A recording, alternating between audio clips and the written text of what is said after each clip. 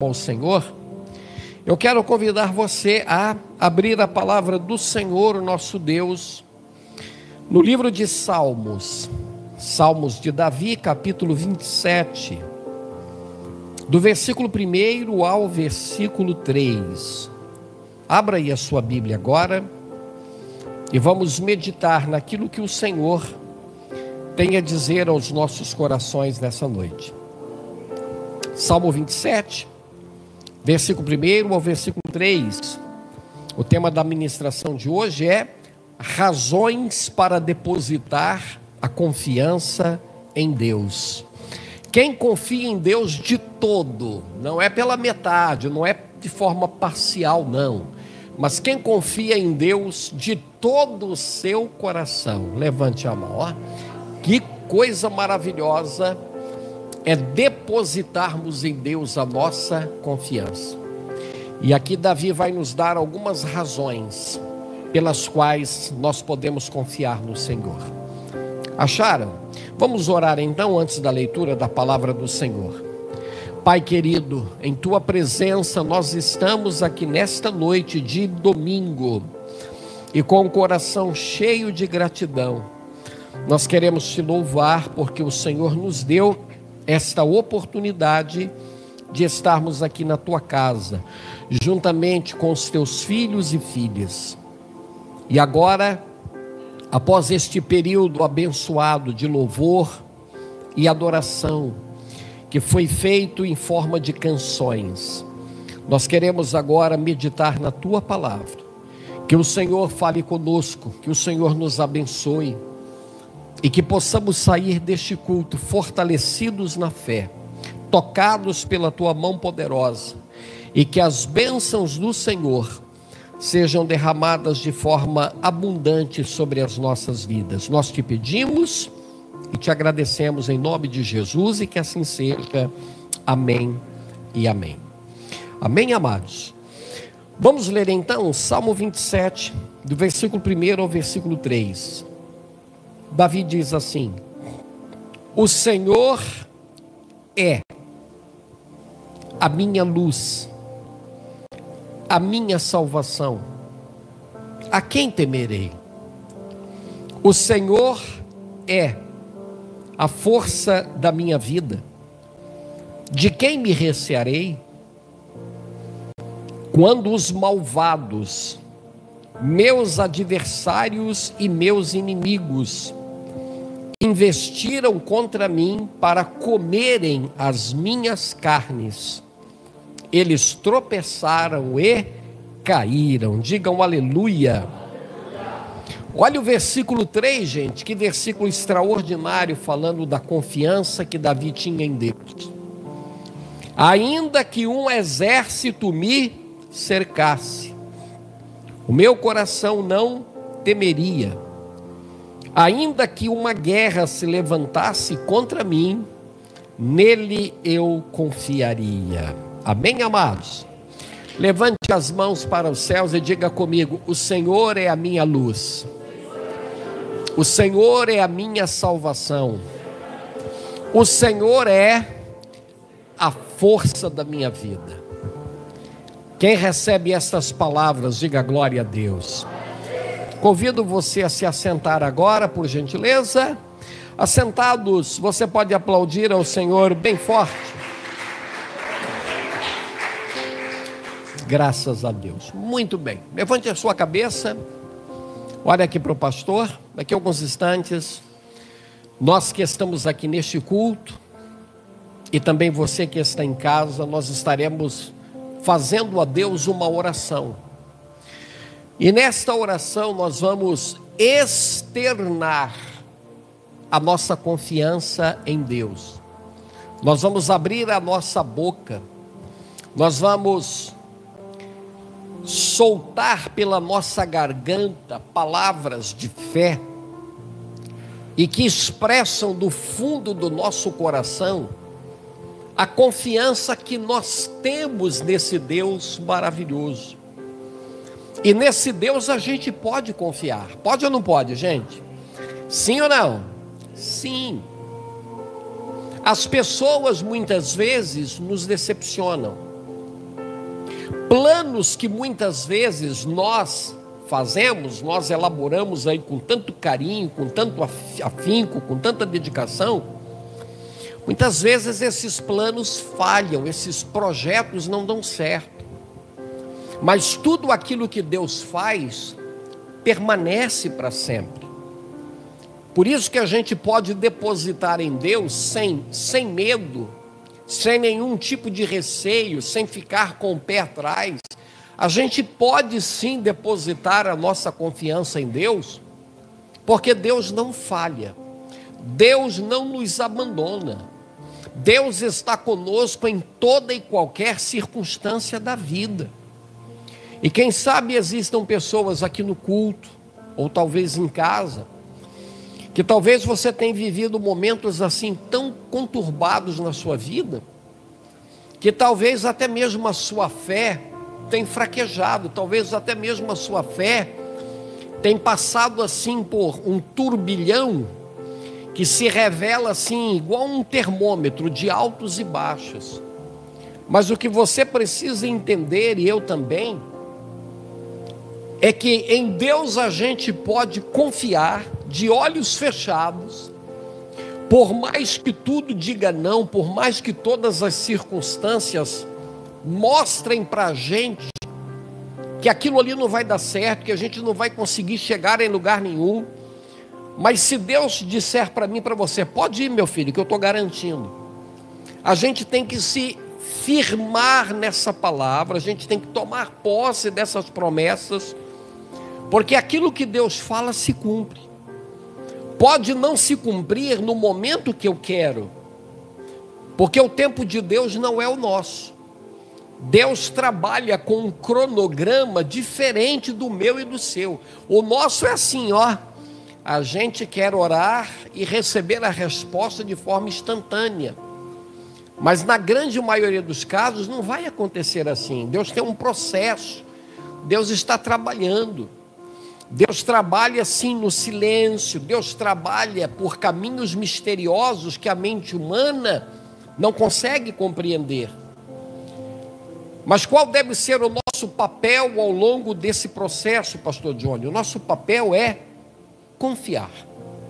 Ainda que você não veja nada, ainda que você não sinta nada, ainda que você não, não tenha assim nenhuma palavra sobrenatural, audível, que você possa escutar e dizer assim: olha, Deus falou comigo de forma audível, de forma clara, ainda que você não ouça ou receba estes sinais. Se a palavra de Deus está dizendo algo a você, acredite, a palavra de Deus é suficiente para a sua vida e para a minha vida. Amém, amados? Lâmpada para os meus pés é a tua palavra e luz para o meu caminho. E quando a gente fala de confiança em Deus, todos os autores da Bíblia Sagrada, todos os homens e mulheres de Deus, que escreveram textos na Bíblia Sagrada, todos eles expressaram a sua confiança em Deus.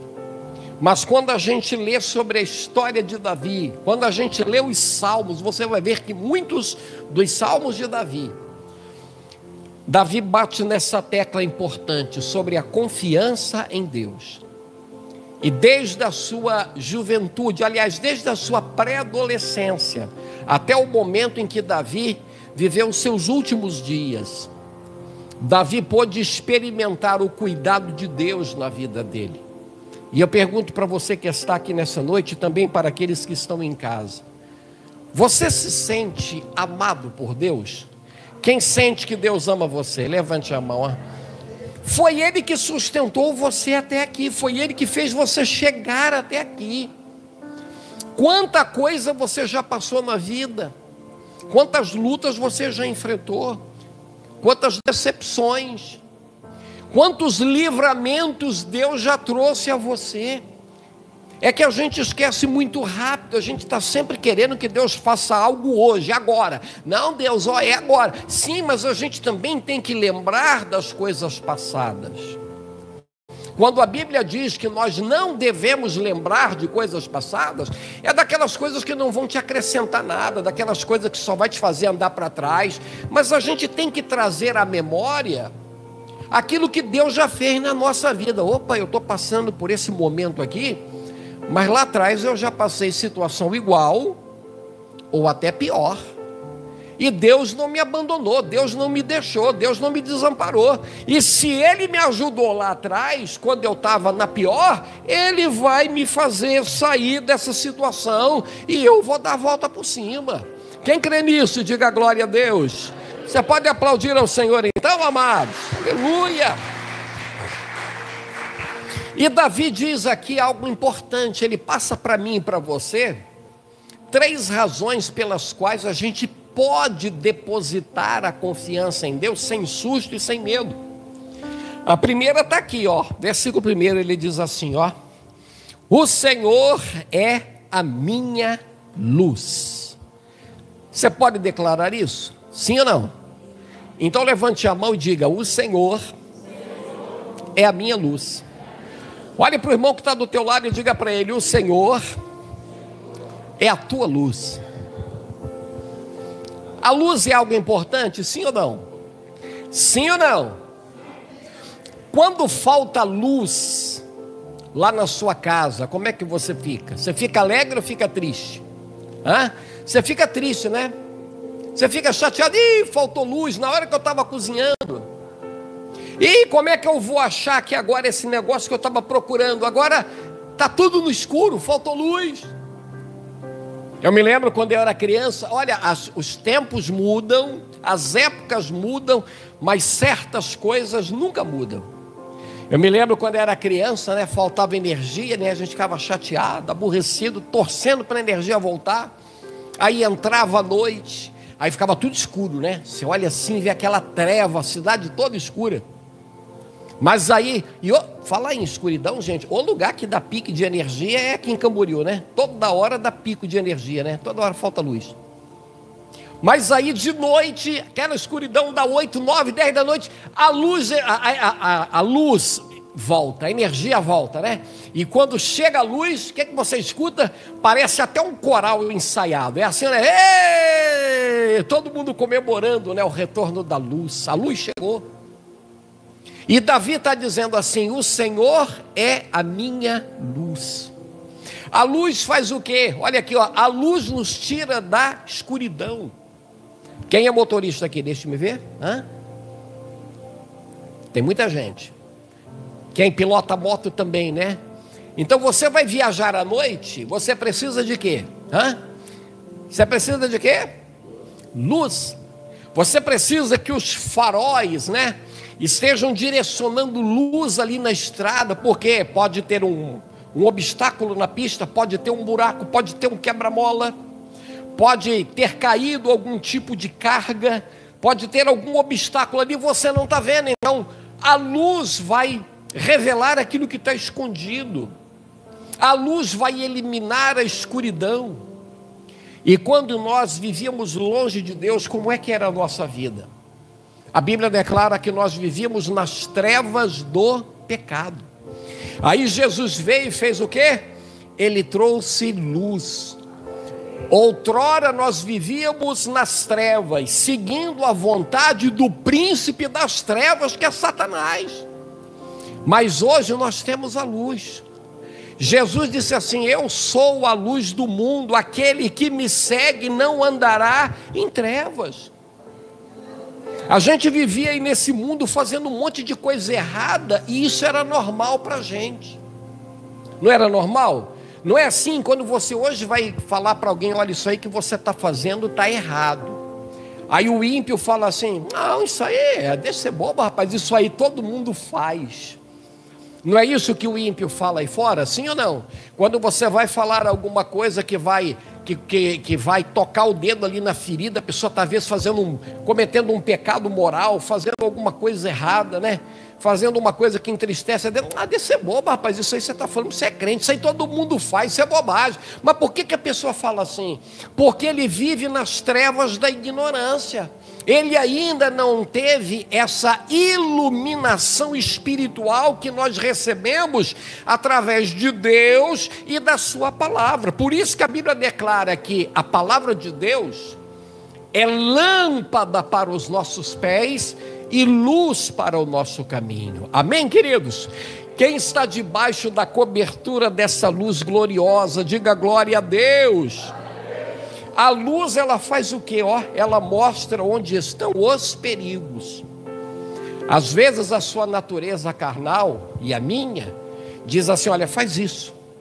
Pode fazer que você vai se dar bem, não vai acontecer nada não. Mas aí a palavra fala assim: ô, oh, oh, faz isso não.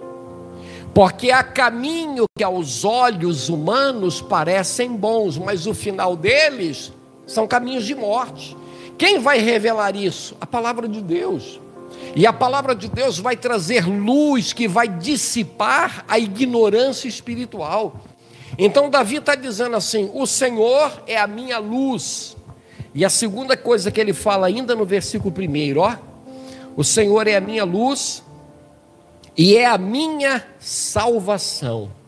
A quem temerei? Diga glória a Deus. Diga comigo: O Senhor é a minha salvação.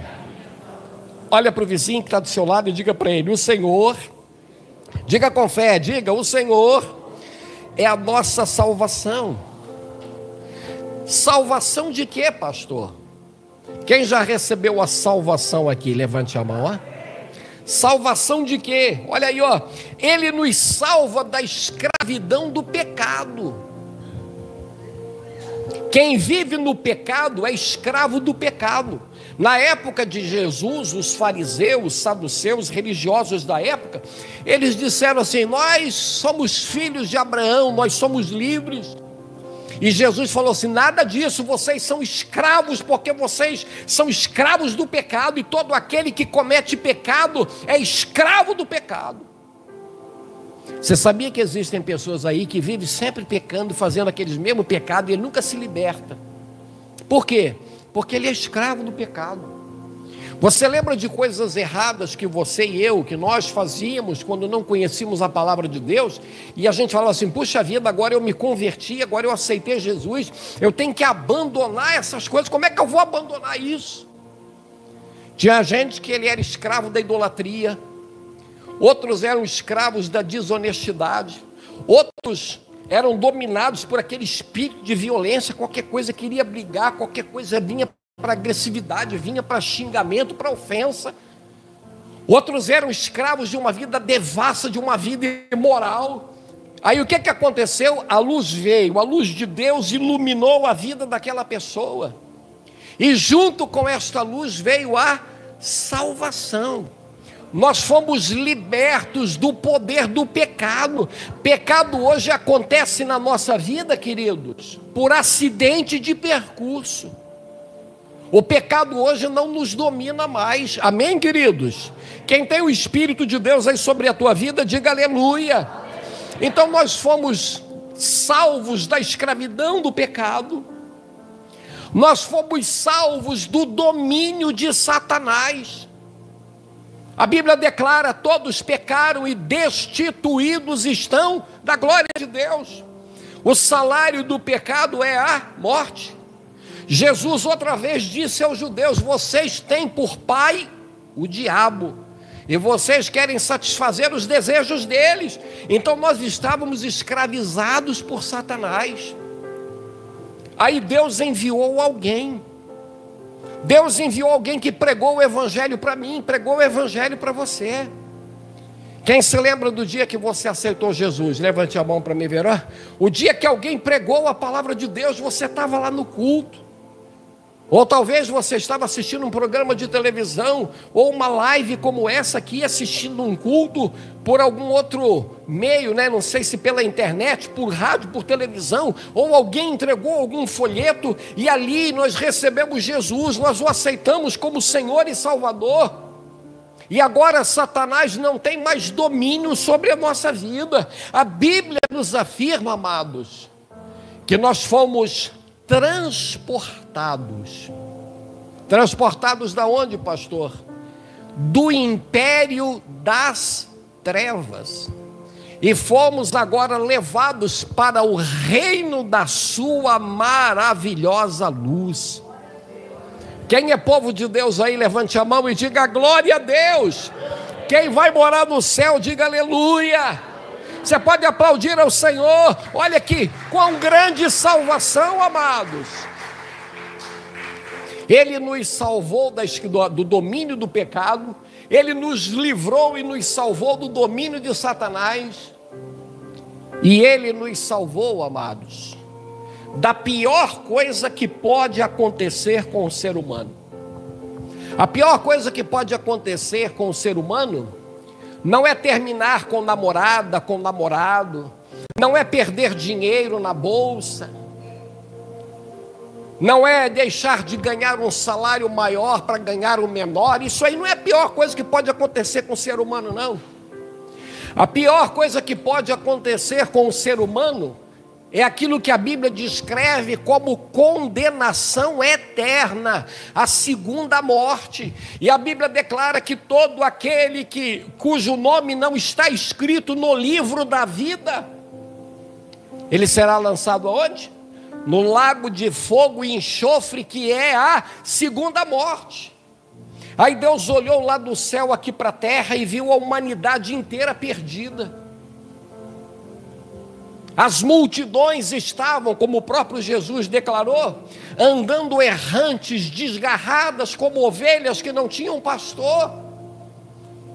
E Deus agora preparou um plano redentor, um plano para resgatar a humanidade que havia caído desde lá do Éden, desde os primeiros dias com Adão e Eva. E agora Deus faz o quê? Deus chama o seu único filho aquilo que ele tinha de melhor, que era o único filho, seu filho unigênito. Ele podia ter feito o quê? Não, vou poupar meu filho, eu vou mandar um anjo. Mas ele falou assim: eu vou enviar o que eu tenho de melhor para resgatar a humanidade. E ele mandou Jesus esse mundo. Aqui Jesus nasceu, viveu, sofreu, anunciou a mensagem do Evangelho, foi pregado e morto numa cruz, ressuscitou ao terceiro dia e nos deu a maior de todas as bênçãos que um ser humano pode alcançar nessa vida e na eternidade. Ele nos deu a salvação, queridos. Oh, glória a Deus! Se alegre por isso. Quem tem certeza que você está salvo, diga amém.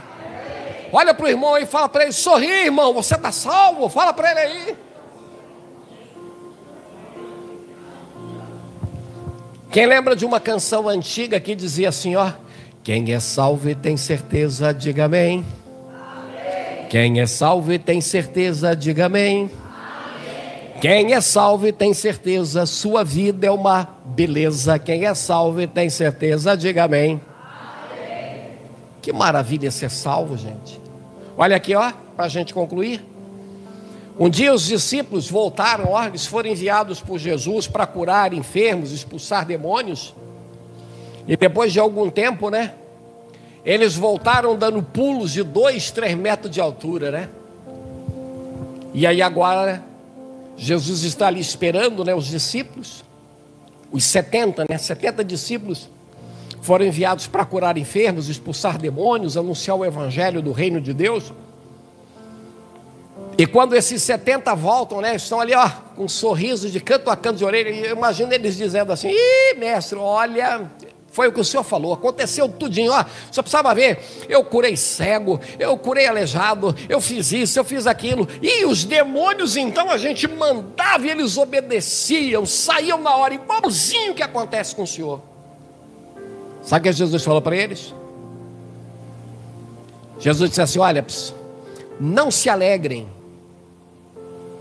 não fiquem contentes somente pelo fato de vocês expulsarem demônios e curarem os enfermos. Fiquem contentes e alegres, porque o nome de vocês está escrito no livro da vida. Porque eu vou te falar uma coisa: tem muita gente por aí curando enfermo, expulsando demônios, mas o nome dele não está escrito no livro da vida. Pastor, mas como é que pode uma coisa dessa? Eu vou explicar para você. Ele está usando o nome de Jesus, sai em nome de Jesus. Ele está usando o nome de Jesus e o nome de Jesus tem poder. Ele está usando a palavra de Deus, mas ele não vive de acordo com a palavra de Deus. Por isso que a Bíblia declara, e é o próprio Jesus que diz isso. Naquele dia muitos me dirão: Senhor, nós curamos no teu nome, expulsamos demônios no teu nome e declaramos profecias para os outros no teu nome. Fizemos sinais e maravilhas no teu nome. E Jesus vai dizer o quê? Está escrito: então eu lhes direi abertamente. Não vai ser assim com rodeio, gaguejando, não. É na cara, abertamente. Nunca vos conheci. Apartai-vos de mim, malditos, para o fogo eterno, preparado para o diabo e os seus anjos. Então tem muita gente por aí pregando, falando do nome de Deus, mas o nome dele não está escrito no livro da vida mas o nosso nome está escrito porque recebemos um Salvador e temos a certeza que vamos morar no céu. Quem crê nisso, diga aleluia. E para concluir, amados, para concluir, versículo 1 ainda, capítulo 27. O Senhor é a minha luz, o Senhor é a minha salvação, a quem temerei. O Senhor é a força da minha vida, de quem me recearei? Diga comigo, o Senhor é a força da minha vida. Olha para quem está do teu lado e diga: O Senhor é a nossa força. Quem precisa de força aqui nessa noite? Hã? Força, olha aí, ó, Ele nos ajuda quando nós estamos fracos. Ou você está forte todo dia? Hein? Você se sente aquele guerreiro, aquela guerreira todo dia? É assim? Quem se sente assim, desanimado, que você fica assim triste, abatido, meio fraquinho. Quem de vez em quando se sente assim? Levante a mão. Às vezes você fala assim: ah, vou desistir. Aí vem uma voz mansinha do lado e fala assim: não, desiste não, eu estou aqui. Eu também passei por isso. Eu também fui traído, eu também fui abandonado. Você está triste porque foi traído, foi abandonado, que ninguém se importa com você. Até os meus discípulos, em certos momentos, me deixaram. Amém, amados? Mas Jesus fez o que? Ele desistiu? Não, ele se fortalecia em Deus. Quando ele estava vivendo o momento mais difícil da vida dele, que foi lá no jardim de Getsemane.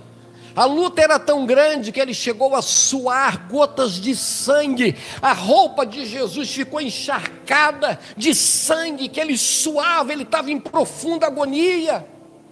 E naquele momento, enquanto os discípulos dormiam, Jesus ainda falou para eles assim: Olha, eu vou, eu vou ali orar. A minha alma está angustiada até a morte. Olha, o Filho de Deus sentindo tristeza na alma e angústia. E ele falou assim: A minha alma está angustiada até a morte. Fiquem aqui e orem comigo. Eu vou estar tá orando lá e vocês ficam aqui na retaguarda orando comigo, tá? Aí quando Jesus está orando e vai lá, o que, que eles fazem? Dormindo. Jesus ora e eles dormindo. Jesus ora e eles dormindo. Então, no momento, a Bíblia declara que nesse momento, um anjo do céu veio e foi confortar a Jesus, porque os discípulos estavam dormindo. Às vezes você fala assim: Fulano vai me ajudar, Fulano vai me socorrer, Fulano, ó, ó, aquele ali não vai falhar. Ah, mas de repente ele falhou. E se eu e você colocarmos a nossa força, o nosso apoio em pessoas, a gente pode se decepcionar. Mas Davi está dizendo: O Senhor é a minha luz, o Senhor é a minha salvação, o Senhor é a minha força. Força quando eu sinto, eu me sinto fraco, né? Olha aqui, ó. Quando nós lidamos com situações difíceis, quando todos nos abandonam, para quem a gente vai recorrer? A gente vai recorrer ao Senhor. Então, se tem hoje alguém aqui nesse culto ou em casa, Alguém que você está se sentindo assim, sem esperança, sem alegria, sem nenhuma perspectiva para a sua vida, seja ela em qual área for. Deposite a sua confiança em Deus. Vamos fazer como Davi. O Senhor é a minha luz, o Senhor é a minha salvação, o Senhor é a força da minha vida. De quem temerei? A quem temerei? Do que que eu vou ficar com medo? Então a gente vai declarar com toda confiança que maior é aquele que está em nós. Amém, amados? Qual é o nome daquele que está sobre a tua vida? Qual é o nome dele, amados? E o que você pode oferecer a ele com toda alegria aqui nessa noite? Você pode aplaudir o nome dele? Glória a Deus. Quero te convidar para você se colocar de pé agora. Fique de pé, por gentileza. Você que está aqui neste culto, você que está em casa, prepare o teu coração agora, porque nós vamos orar. Deus é luz, Deus é salvação, Deus é força. Três ingredientes poderosíssimos para te ajudar, para fazer você erguer a sua cabeça, continuar firme na caminhada, não desistir, não olhar para trás. Haverão muitos percalços no meio do caminho, haverão muitas dificuldades, haverão muitos obstáculos, mas não tenha medo, siga em frente, meu querido, porque Deus é a nossa luz, o Senhor é a nossa salvação, o Senhor é a força que nos move, aleluia, e esta força, esta luz, esta salvação está sendo liberada sobre a sua vida e a minha aqui nesta noite de domingo. Vamos adorar ao Senhor com uma canção e logo a seguir nós estaremos orando com vocês. Feche os seus olhos e vamos cantar uma canção de adoração ao Senhor.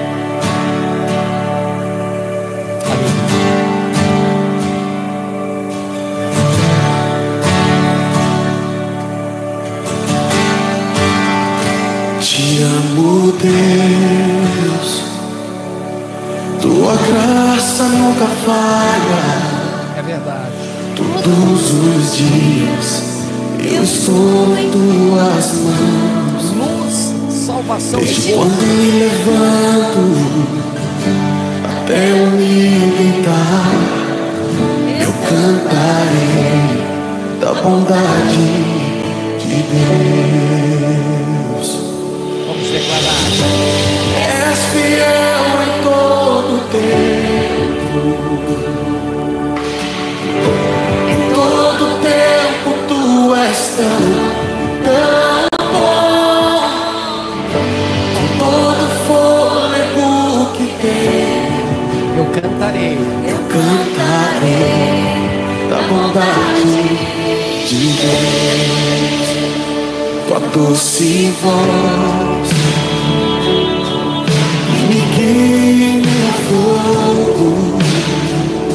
comigo tua presença me conforta. Ele é a nossa luz. Sei que és meu pai, que amigo é. Ele é a nossa força. Eu vivo na bondade de Ele é o nosso salvador. És fiel em todo tempo,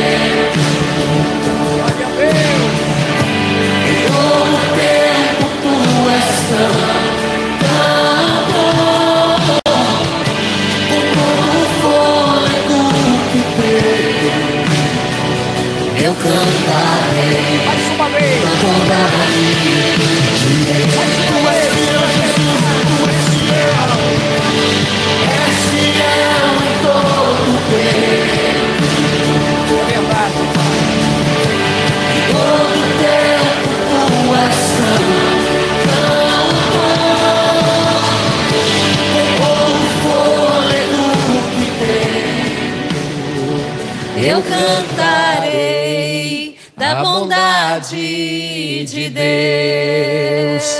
Eu cantarei da bondade de Deus. Aleluia, glória a Deus. Põe as mãos no teu coração, meu querido. Oh, aleluia, Deus está aqui. Quando Deus é a nossa luz, a nossa salvação e a nossa força, acontece isso aqui, ó. Ainda que um exército me cercasse, o meu coração não temeria.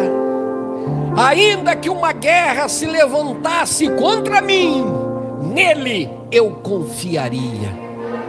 Eu vou confiar nele porque ele é a minha luz, ele é o meu salvador. Ele é a força da minha vida, e Ele está aqui nessa noite, meu querido, minha querida, para te segurar nas mãos e dizer para você: eu sou a tua luz, eu sou o teu salvador, e eu sou a força que você precisa. Vamos orar agora ao som deste fundo musical. Eu quero que você ore, ore, fale com Deus agora. Vamos falar com Deus. Acalme o teu coração, descanse na presença do Senhor. Davi está dizendo: ainda que o exército, milhares de soldados armados até os dentes me cercassem, eu não ficaria apavorado. Ainda que uma guerra se levantasse contra mim, eu não temeria mal algum, porque tu és a minha luz, tu és aquele que me salva e tu és aquele que me fortalece.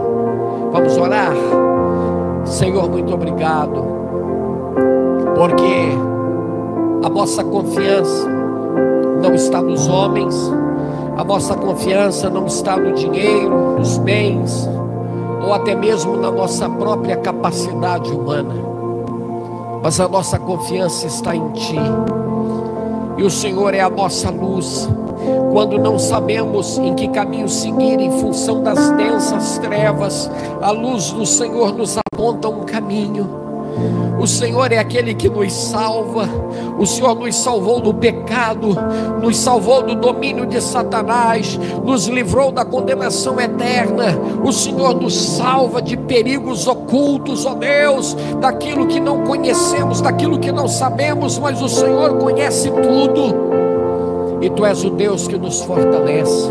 O Senhor nos trouxe aqui nessa noite para nos trazer força, para recarregar as nossas baterias espirituais, para que possamos, ó Deus, enfrentar mais uma semana de cabeça erguida, com postura de guerreiros e guerreiras valorosos e valorosas, Pai querido aqueles que estão aqui hoje, aqueles que estão em casa acompanhando o culto, que esta pessoa possa animar o coração, revigorar o espírito, tendo dentro de si esta certeza, esta confiança maravilhosa.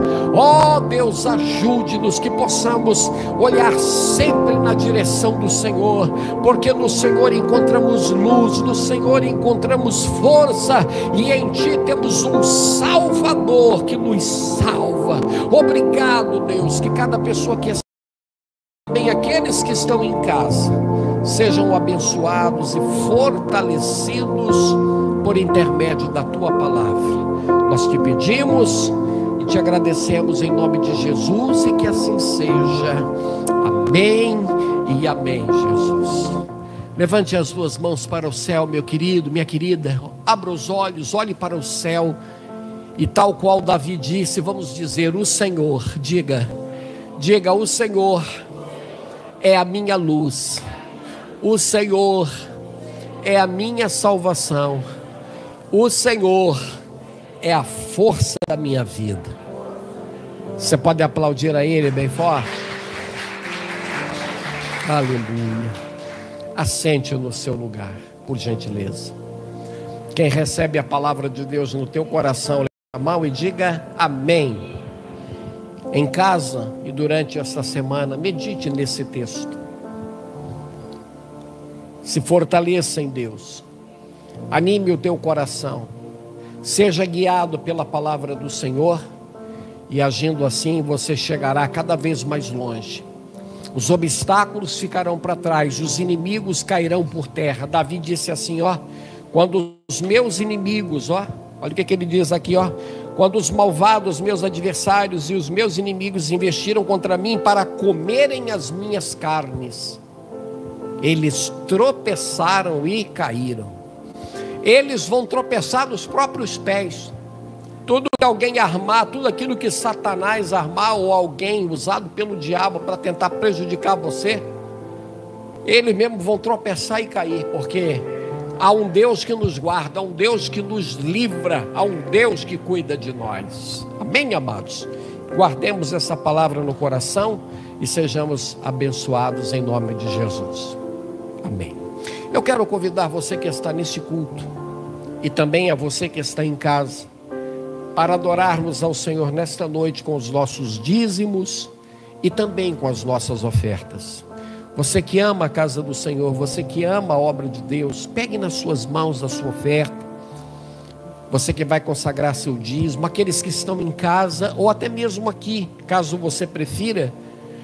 Nós temos aqui a nossa conta corrente, aqui temos as informações da conta corrente da igreja do Evangelho Quadrangular, chave Pix, agência, número da conta.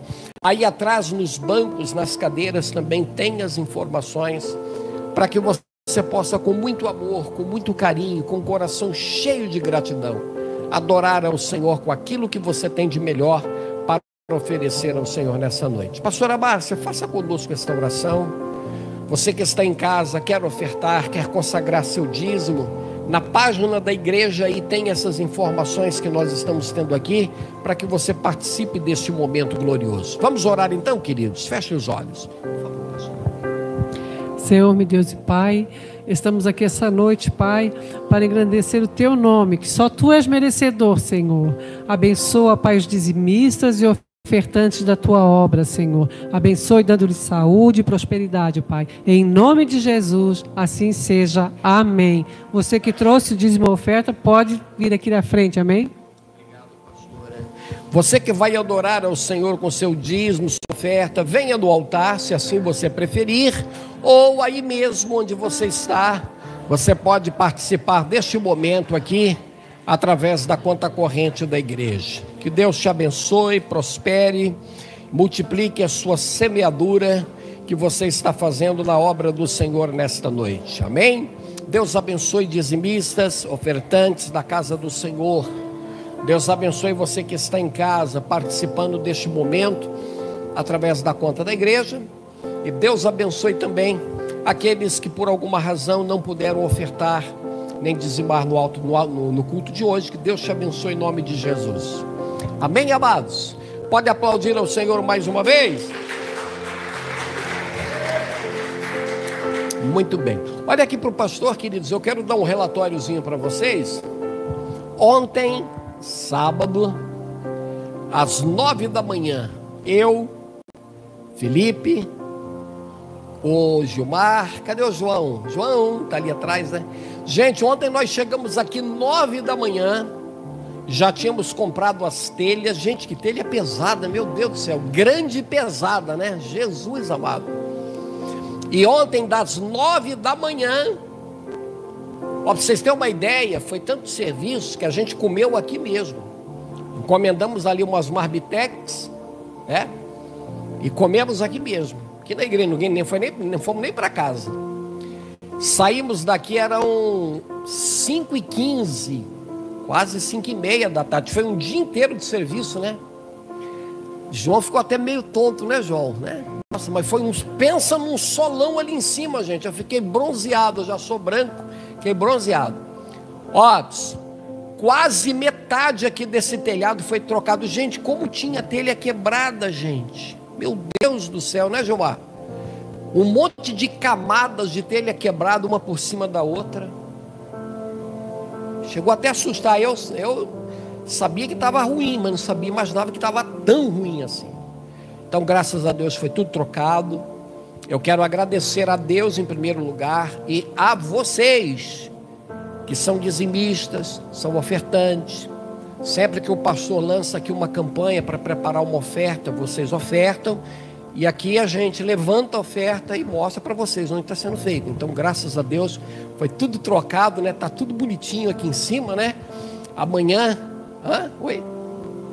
É, essa menor, não foi o telhado todo não, viu gente? Porque o telhado todo, se for mexer daqui para cá, aí já é um gasto ainda muito maior. Mas quase a metade para lá foi tudo trocado. E agora a gente vai ver se acaba todos esses vazamentos, né? Vamos ver se não precisa mexer dessa metade para lá. Então amanhã, é amanhã, João? Amanhã ou durante essa semana, não sei, né? A gente qualquer coisa traz um mocotó, viu, João? Ô, João, traz um mocotó, uma vaca atolada assim, bem forte assim, né? Uma feijoada, né? Amanhã, né? Psst. Escute, irmão, só um minutinho, queridos. Psst. Só um instantinho. Então, muito obrigado a você que ofertou, você que é dizimista, você que abençoa a casa do Senhor. Nesse mês de março, irmãos, psst, nesse mês de março, nós temos duas coisas para fazer aqui na igreja. Você vê que a igreja nunca para.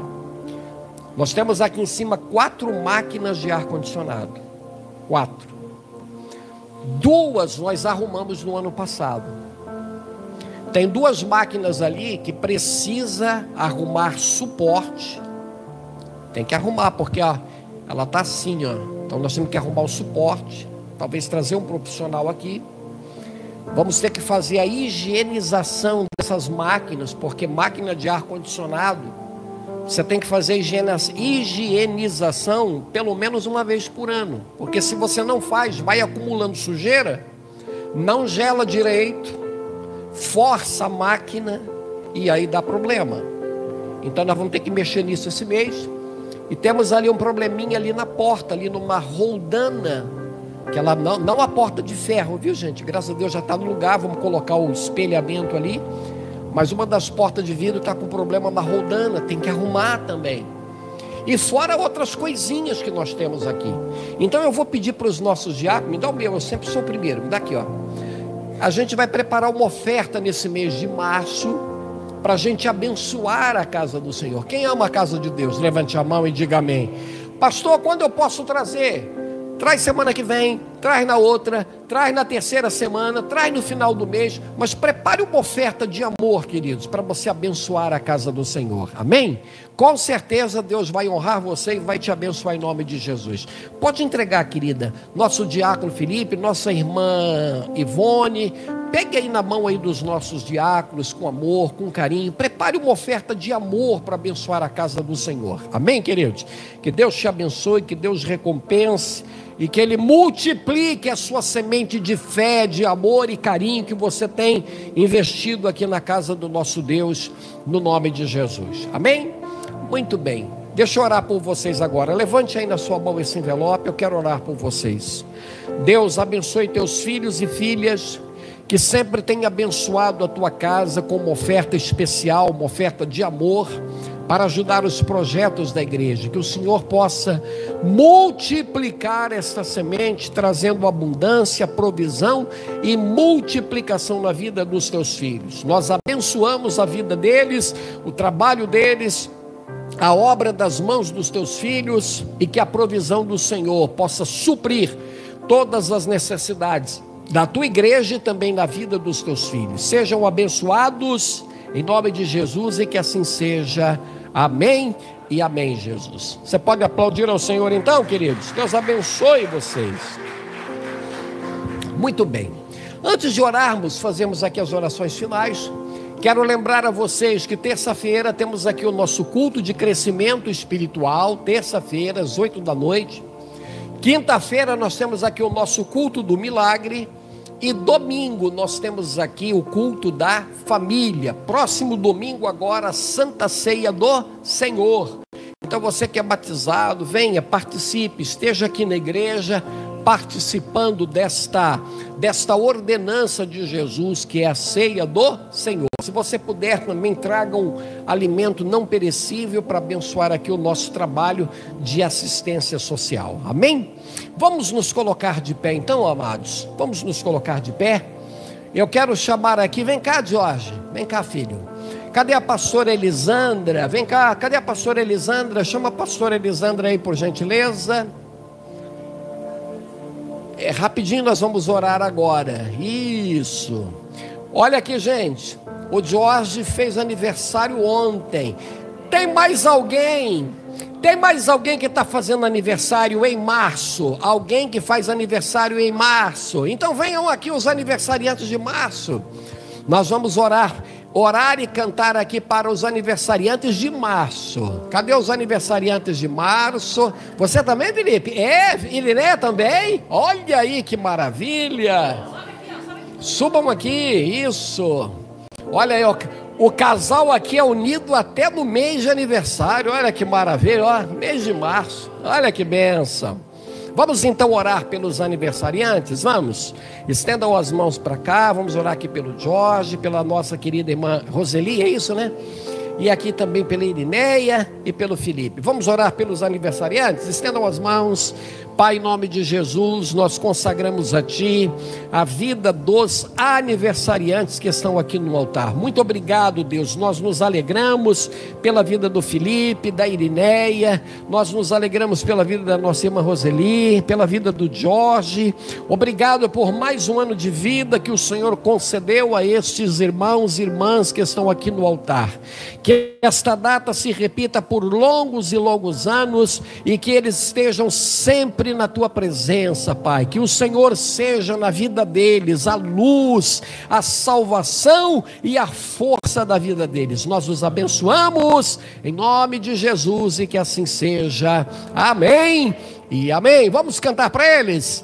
Parabéns para você nesta data querida. Muitas felicidades, muitos anos de vida com Deus ao teu lado, um novo por vir. Que a vida lhe seja um eterno sorrir. Glória a Deus. Deus abençoe aqui os nossos aniversariantes, em nome de Jesus. Amém, amados?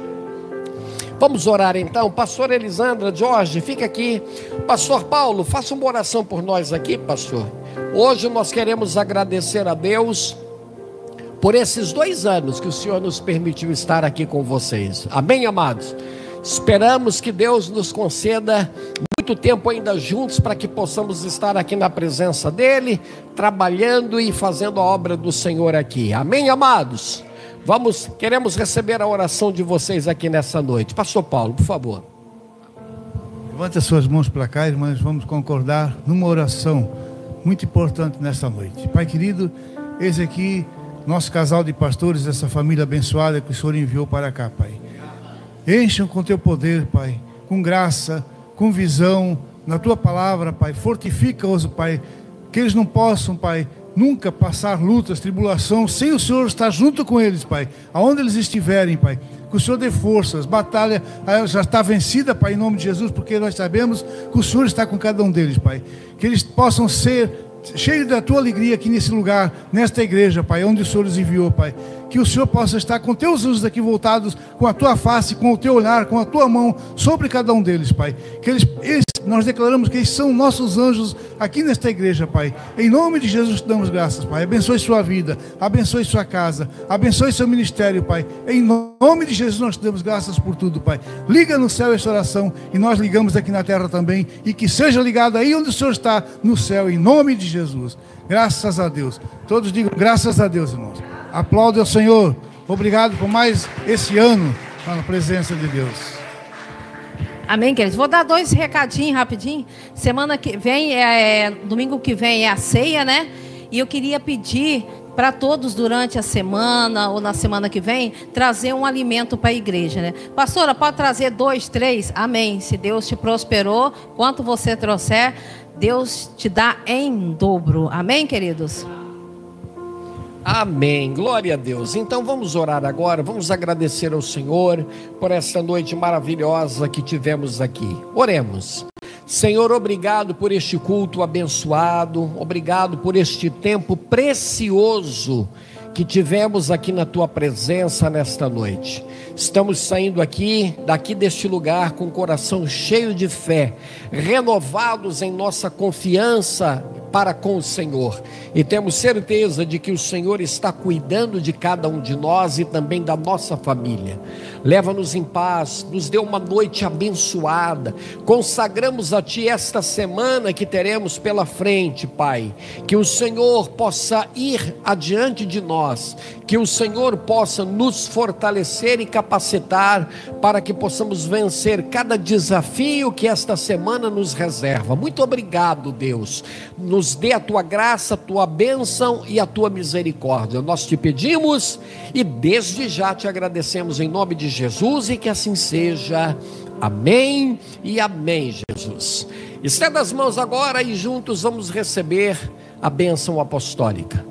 Que o amor de Deus, nosso Pai, que a graça do nosso Senhor Jesus Cristo e que a doce consolação do Espírito Santo seja com todos, hoje e sempre.